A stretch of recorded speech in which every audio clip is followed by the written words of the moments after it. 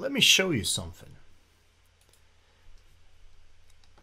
Equals Ljubljana dot population. Did you see that?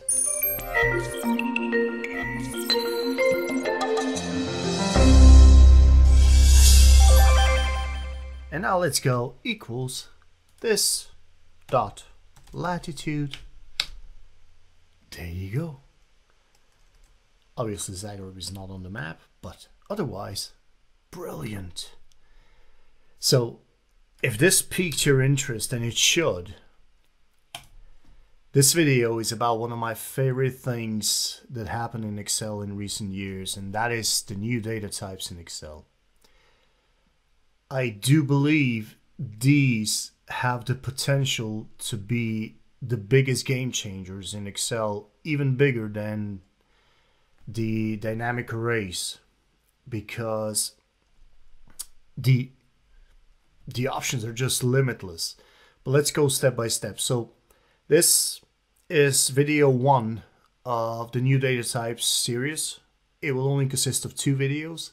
Now the first one will be the introduction, so I'll show you what the new data types are, how to use them, and then I'll kind of start with the story of imagine if, and then part two will actually fill you in on where that imagination has already taken Microsoft, uh, but we'll we'll still leave some things open, and there are there's a plethora of you know avenues to kind of investigate where this could go and it could be just brilliant but it already is as it stands so did you see how i said ljubljana and then just went dot population so the interesting thing about the new data types is well you can find them on data and then shockingly data types so these are the data types that you can use now Funny enough, when you will go to this, you will only see two data types, and that is geography and stocks.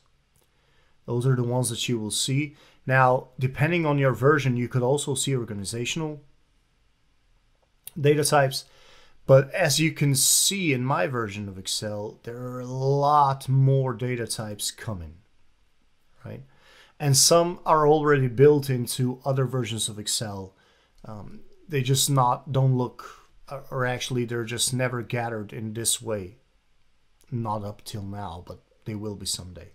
So what the, these data types actually do? Well, the idea is you can have a single cell which has a single value. This one, this one cell has the value of Ljubljana, so the capital city of Slovenia, where I'm from. And now I can go, well, now show me the country or region that this belongs to. And there you go. And now show me the abbreviation of that city if there is one. And obviously there are not many there are not many of those. And then show me let's go with the currency code for that country. Right, isn't that just awesome?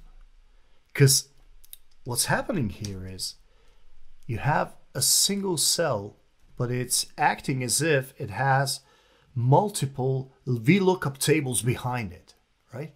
So this cell knows a lot more than just a single value that is displaying. And the way you can utilize that is saying, okay, I want to filter these cities. Or what do I want to filter by? Well, originally, of course, you can filter by the name that you see, but then you can also say, I actually want to filter by the country or region.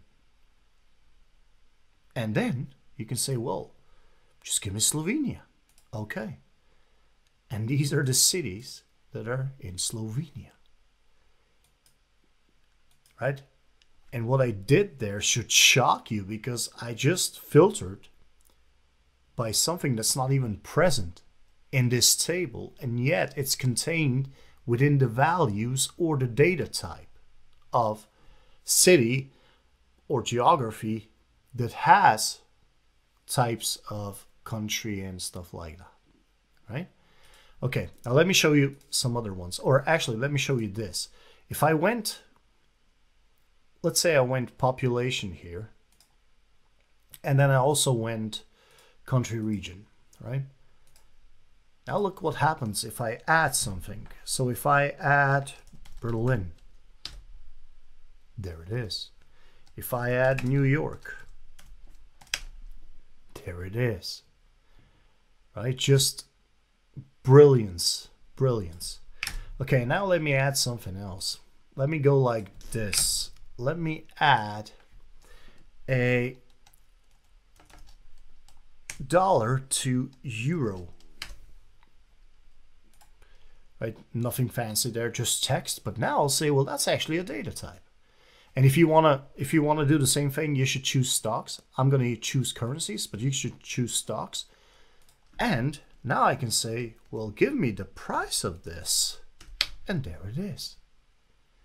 And now I have the conversion rate for those two currencies as a formula in this cell. Now, there are a lot of questions we could build upon here, like where is that data coming from and stuff like that. Um, and and it would be interesting to follow up on that, right? Because it's mostly Bing, Wikipedia, and stuff like that. But let me just show you something else, because this is where this is where the magic happens. This is where you can actually start to think, oh, oh, oh, something like that. So let's go Albert Einstein. Right? And now I say, well, that is a person. And now I go, okay, so for Albert Einstein, show me the place of birth. And once I do that, something amazing happens. I get the city that he was born in, but because that is also a data type, I can now go choose the city population of the city that Albert Einstein was born in. Or I could go even deeper than that. I could say, okay, now show me no notable people born in this city. And look at that. It created a whole list so you can see the dynamic ranges are actually talking to this. And now I could just go, oh, well, that's interesting. Now give me the images of all these people. Right? Like this. Oh, that's sad. It, it doesn't have all of them, but still, you can see. Let me try to make that better. And you should be, you know,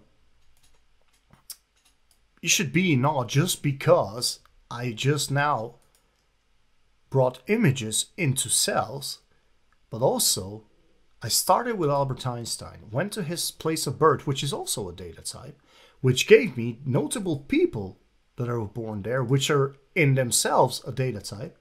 And now I have their pictures. And now I could go back to this one and I could say, okay, now why don't you show me the country or region that this belongs to, right? And I get Germany. But here's an interesting thing. Germany, again, is a geography data type that I can now expand to Give me the capital city. And now I'm about three data types away from Albert Einstein, although I did return to him in, in the middle. Do you see how it all connects and how in the end, if you think about it, this cell contains so much data. It's, you know, because you have step by step by step. It's like what was that movie? How many steps or how many people does it take for you to be connected to anyone on, on Earth? Uh, it's kind of like that. How many data types do you need to actually get any piece of data that you want from any other piece of data that you want? And this truly is a game changer. Now, the level to which this is a game changer, you can kind of see over here as to how many data types are coming. Not just people, music, plants, space or astronomy. And then you got yoga.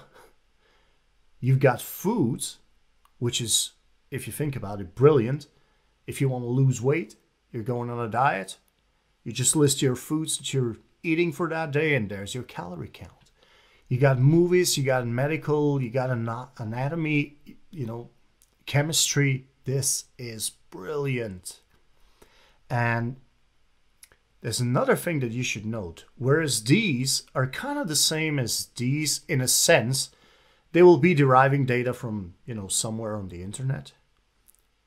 Here's what you should really be thinking about, and here's what part two of the new data type series will be about what if I could create my own? Right? Because that's where this becomes amazing. If your company could say, we have data types, we have products, we have, so your HR department could say, we have data types, we have employee. And then anyone in your HR could just write the name of the employee, choose the data type, and there would be their, you know, last contract, their uh, uh, salary, or whatever you would want to derive from that. Or if you just write an SKU and say, well, now I want to know what's the name of the product, what's the category of the product, what are the measurements of the product, how much do we have on stock, how much did we sell last quarter. And that could all be derived from that single SKU if company could have their own. And there are actually two ways that you can create your own even today. Now, one you actually saw is this organizational thing right here. And the other is through Power Query. And that's what part two of this series will be about. So we're going to show you, I'm going to show you how to create the new data types, how to create your own data types with Power Query, and then how to create them through using Power BI, that one should just blow your mind. Okay, well that's it for this video. Thank you for watching and I'll see you on the next one.